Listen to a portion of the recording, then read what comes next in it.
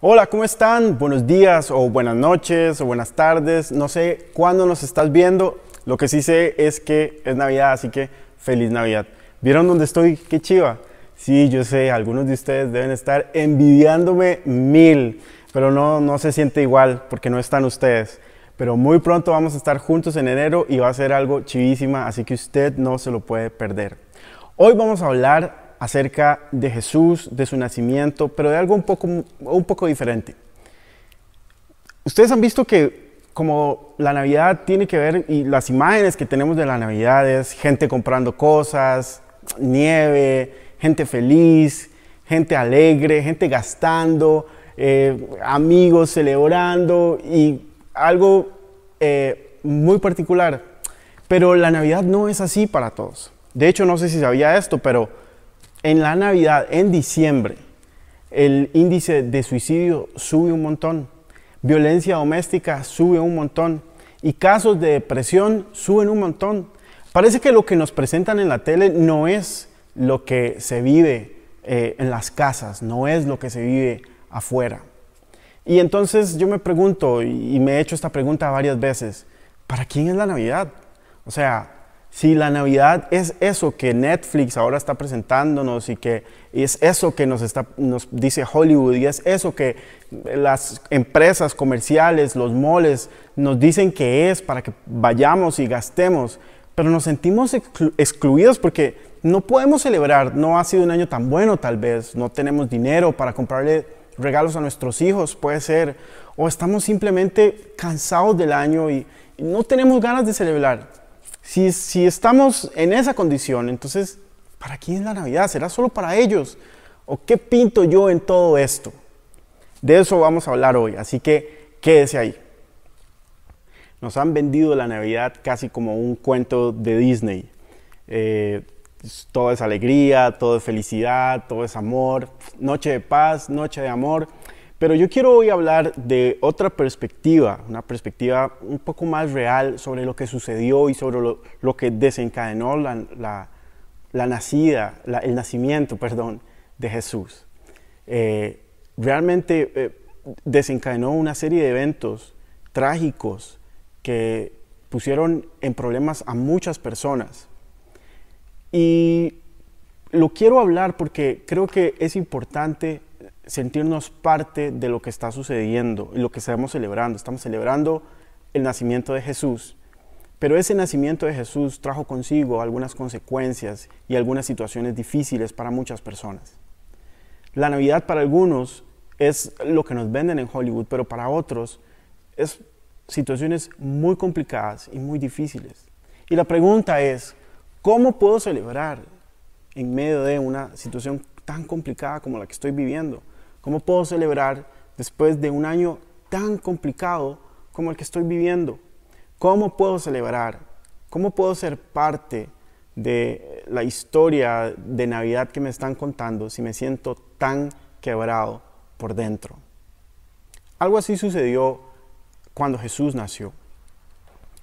Déjenme leerles la historia. Leo de Mateo capítulo 2 a partir del versículo 16, cuando Herodes se dio cuenta de que los sabios se habían burlado de él, los reyes magos. Se puso furioso. Entonces, basado en lo, que en lo que le dijeron los sabios sobre la primera aparición de la estrella, Herodes envió soldados para matar a todos los niños que vivieran en Belén y en sus alrededores y que tuvieran dos años o menos. Esta acción brutal cumplió lo que Dios había anunciado por medio de los profetas, del profeta Jeremías. En Ramá se oyó una voz, el llanto y un gran lamento. Raquel llora por sus hijos, se niega a que la consuelen porque están muertos. Jesús nació, pero había un, rey loco que tenía miedo que le quitaran su trono. Y cuando escuchó la profecía de los judíos de que iban a ser otro rey y temiendo la revuelta de los judíos, entonces mandó a matar a todos los niños de la aldea de menos de dos años. No tengo idea de cuánta cantidad de niños pudiera, pudieron, pudieron haber matado, pero sí sé que fueron muchos.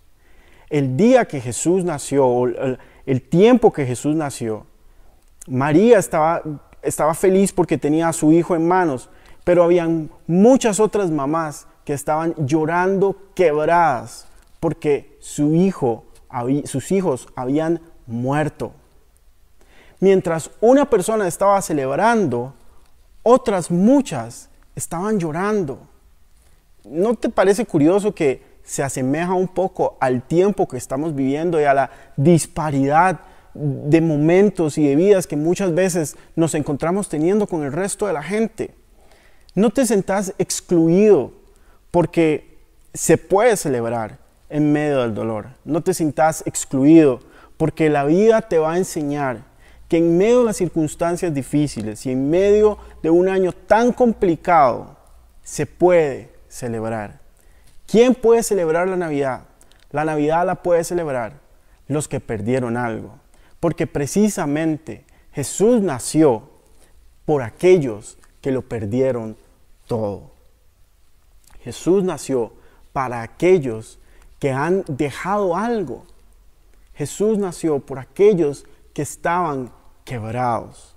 El momento en el que Jesús nace, nace en medio de un imperio, un imperio que estaba tratando de saquear al pueblo de Israel y les ponían impuestos y ellos dominaban sobre el pueblo de Israel. Y había un, deseo de, ser, de dejar de ser oprimidos. Había un deseo de dejar de ser ese pueblo subyugado. ¿Dónde te encuentra hoy la Navidad? ¿En qué situación, en qué momento particular de vida te encuentra? Si te encuentras en un momento bueno de la Navidad, en un momento bueno de tu vida, perdón, qué bien por vos.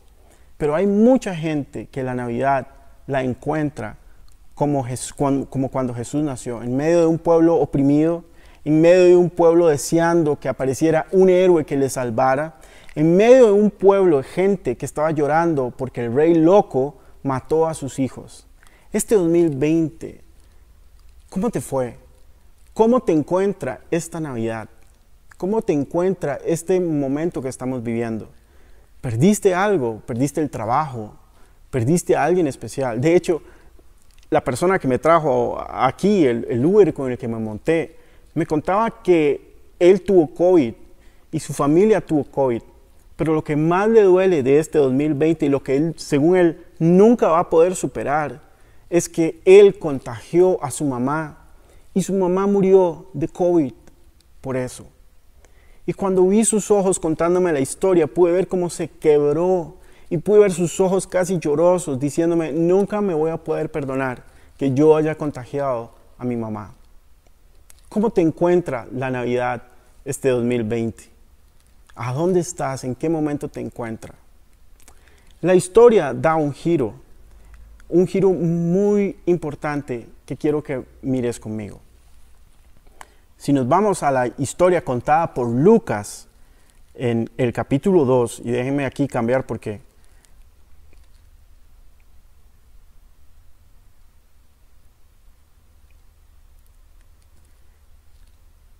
nos encontramos a un hombre que estaba en medio de la espera a un hombre que estaba viviendo junto con el pueblo de Israel esta, esta nube negra sobre el pueblo que, que existía, esta opresión tan gigante que existía, esta situación tan apremiante que los tenía agobiados.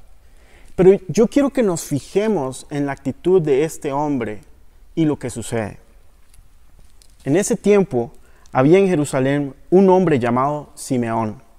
Era justo y devoto, y esperaba con anhelo que llegara el Mesías y rescatara a Israel. El Espíritu Santo estaba sobre él y le había revelado que no moriría sin antes ver a el Mesías del Señor. Ese día el Espíritu lo guió al templo, de manera que cuando María y José llegaron para presentar al bebé, Jesús estaba ante, él, ante el bebé Jesús, ante el Señor, como exigía la ley, Simeón estaba allí. Tomó al niño en sus brazos y alabó a Dios diciendo, Señor soberano, permite ahora que tu siervo muera en paz, como prometiste. He visto tu salvación, la que preparaste para toda la gente. Él es la única, él, es la luz para revelar a Dios a las naciones y es la gloria de tu pueblo.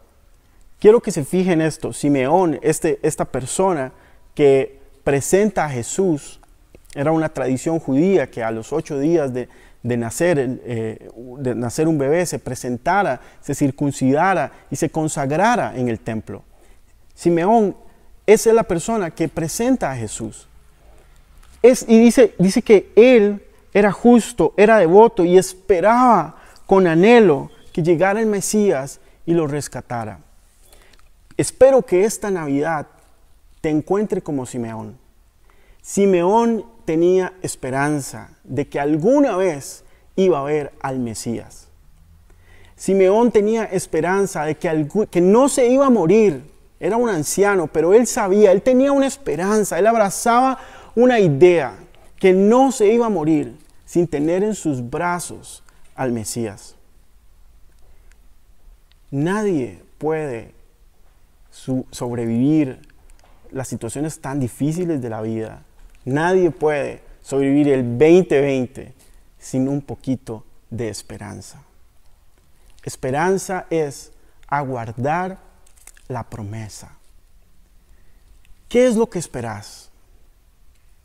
Vamos, que se encienda ahorita esa llama de esperanza en vos, en tu esposa, en tu esposo, en tus hijos. ¿Qué esperas para ellos? ¿Qué esperas para este 2021? ¿Qué esperas que pase con vos? No podemos permitir que la desesperanza, el llanto de las madres alrededor de la aldea, llorando por sus hijos, la opresión de los romanos sobre los judíos, no podemos permitir que todas esas cosas nos roben la esperanza de tener entre nuestros brazos, de ver con nuestros ojos al Mesías. Simeón no perdió la esperanza y eso es lo que no podemos dejar que pase con nosotros. No importa el momento y la circunstancia y no importa que otras personas estén viviendo otros momentos. Tu momento llegará. Tu momento llegará. Y si algo he visto en mi vida es que nada se, queda igual. Ninguna situación es para siempre las situaciones de nuestra vida que, por las que pasamos son momentáneas. Y tarde o temprano vas a tener al Mesías entre tus brazos, porque eso es lo que esperas. Jeremías 29:11 dice, yo sé los planes de bien que tengo para ustedes. Son planes de bien, para darles el futuro que ustedes esperan. Hoy es para mí el cierre de el año, es la última, la última vez en el año que voy a tener el privilegio de hablarles. Y pensando en qué quería decirles, cuál era el mensaje que quería darles, era este, no pierdan la esperanza. Que se levante la esperanza entre nosotros, entre nuestra comunidad. La esperanza de un 2021 muy bueno la esperanza de tener un mejor trabajo, la esperanza de ser mejores personas, la esperanza de tener una mejor relación con Dios, la esperanza de tener una mejor relación con nuestra esposa, con nuestro esposo, la, esperanza de que nuestros hijos salgan adelante y que nuestros hijos sean personas de bien. No perdamos la esperanza. Que la Navidad nos encuentre, no entre moles y centros comerciales y viviendo algo que no es la Navidad que la Navidad, que la celebración del nacimiento de la promesa de Jesús nos encuentre esperando cosas buenas.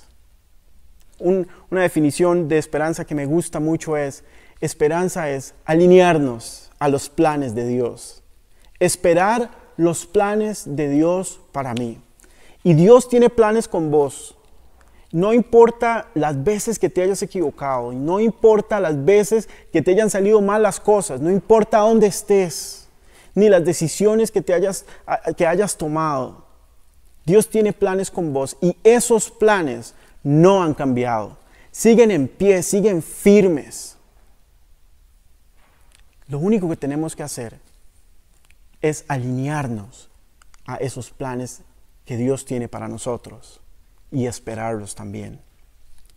Hebreos capítulo 6 dice,